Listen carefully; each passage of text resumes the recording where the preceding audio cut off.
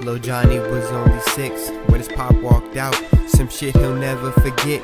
Though it's been blocked out, he has a little sister, and his mama is working three jobs to try to keep it even. But Johnny can't beat the odds of a young black male in the hood where the drugs are the roots of the city. He understood that it comes with the turf. He already knows his worth. He just turned 15, got dead homies on his shirt, so he hit up the trap asking they got work a little white, a little green. He swear he could make it work. Dope man, name is Joe. He been running shit for a minute. Johnny said he saw his beamer, but ain't know it was him in it. So Joe said, I got that powder, but this shit come with power. When you make it to the top, they come to knock you off your tower. Johnny made his first sale, then another, then another. Boy was only 18, living like king of the jungle. Johnny finally got the dough to buy his mama Benz. But next thing you know, Johnny started losing friends.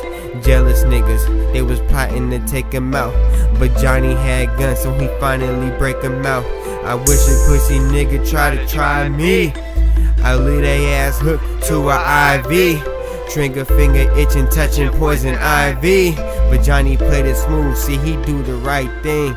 A couple weeks go by and Joe said he got a package. I need you to deliver it to somebody on Aspen. Take the keys to the beam and call me if something happens.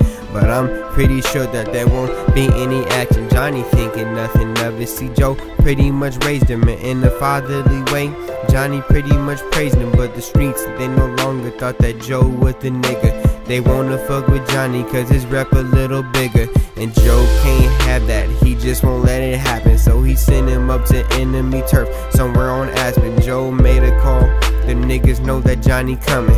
But Johnny ain't dumb, see he thought he felt something. Johnny pull up to the red light, not a person in sight. Made a left and made a right, figured it would be alright. He pull up to the house, and then the nigga walks out. He made a weird ass sound, and three niggas popped out. Johnny go to smash out, but he can't, he trap now. Thinking he might black out. Fuck it, he heard caps now. Johnny hit the deck, put took two to his chest. But luckily for him, he went and picked up his vest. See, all they clips is empty. They think Johnny's a goner. They walk up on him, headshot, that's a domer. One of the niggas drop, that's when Johnny gets up. Them niggas didn't know that Johnny was strapped up.